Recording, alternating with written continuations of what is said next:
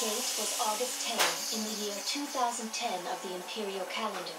The Holy Britannian Empire had just declared war upon Japan. The Far East Island nation had held fast to its neutrality, and now Britannia looms as the world's only superpower. Rights to Japan's underground resources became a hotly disputed issue, straining the already deep-rooted diplomatic tensions between the two sides. In the deciding battle for the mainland, Britannian forces introduced into combat the humanoid autonomous armored knight known as the Nightmare Frame. The enemy's forces were far greater than anticipated, and the Nightmares obliterated the Japanese line of defense on the mainland with little effort. Japan became a dominion of the empire.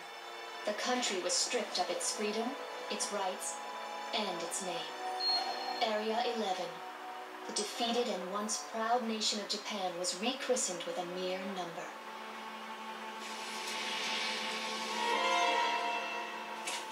I swear, I swear, Suzaku, so help me. I will one day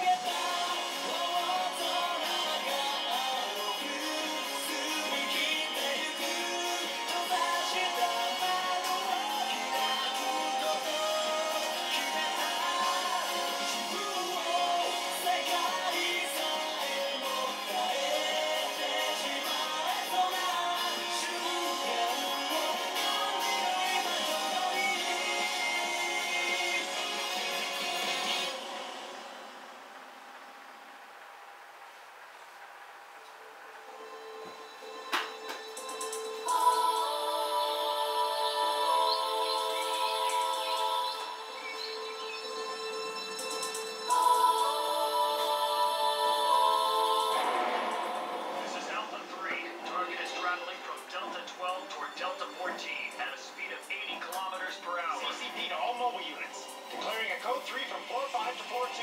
All units take 288. I want the target intact. Here's video footage of yesterday's terrorist bombings in Osaka. The secretary reported 59 casualties in this incident, 8 Britannians and 51 others. You're out of time. From here on, you'll make your moves every 20 seconds. Very well, I'm game. Did your substitute arrive? Oh, oh, thank heaven I'm saved. Are things going well at school? What have we here? Schoolboys? Well, look at this, a nobleman. I envy you kids today. You have so much time on your hands. Time for regrets. What's your name? Lelouch. Lamperouge. Whoa, now wait a minute. You can't win this one. It's impossible, right? Uh, Rivalz, huh? when do you think we would have to leave in order to make our next class? Uh, 20 minutes if we bust our hump. Then be sure that you drive safely on the way back. Huh? I'll need nine minutes. And by the way, about yesterday, Understood, sir. We'll discuss it later. Nine minutes. You only have 20 seconds per move. enough time. Hmm? You start with the king. Where's He went somewhere with Rivalz. What? Maybe it's poker this time? They seem to forget that they're on the student council. They're off gambling for money. Lulu may be smart, yet he wastes his brain on stupid things. If only he'd apply himself in school, he'd get high grades. Oh, I wish my darling Lulu would be a serious young man. How adorable is that? Uh, please, Madam President. Perfect! After we finally steal this damn thing, it's all because Tamaki couldn't stick to Naoto's plan, and now we've got a problem!